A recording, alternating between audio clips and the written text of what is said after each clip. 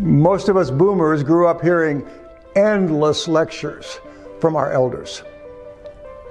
And we had to fake listening to them. There was no talking back, there was no arguing.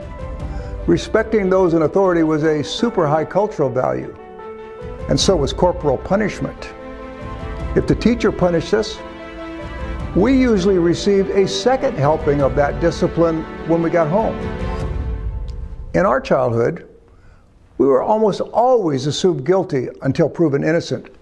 And being proven innocent usually came too late, after we had already received a few whacks. And what boomer could ever forget a favorite mantra of our childhood? Children should be seen and not heard. we couldn't wait until we became elders. And we got all that respect and authority that came with old age, only to see the rules radically change when we became older. Age no longer earns respect. In the eyes of our young, respect has to be earned. And the metrics they use to give that respect are different than they were in our bygone era. We don't get to dish out our advice just because we feel like it.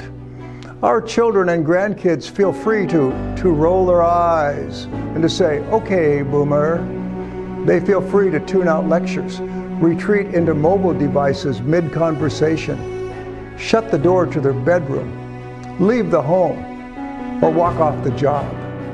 Today, one out of four millennials and Gen Z adults have cut off all contact with parents.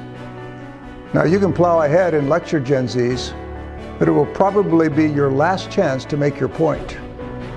A wiser approach is to listen to them. Listen when they seem to make no sense to you.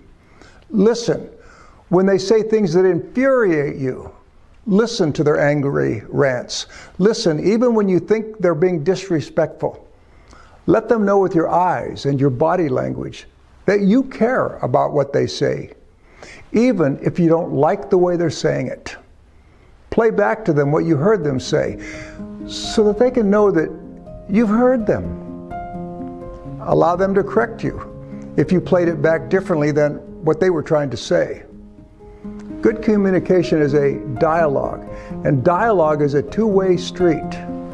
Jesus was a listener. He not only listened with his ears, he also listened with his eyes.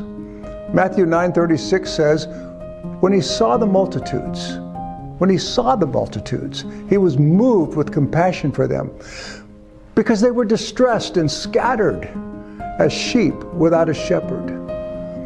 Jesus saw beneath the surface and he listened to the heart cries that were behind the spoken words. He was never quick to talk. He might wink and say, No one ever learned anything while talking. So learn to listen, boomer. Then, when you share, you might actually speak to the real issues that trouble the hearts of the Gen Zs you love most. And when you do open your mouth, don't lecture. Instead, use speech that keeps dialogue going. Okay, now that we've covered the number one mistake boomers make, that is to lecture instead of listen. Let's go to the next video and see the next one in our countdown of mistakes we should never make with Gen Zs.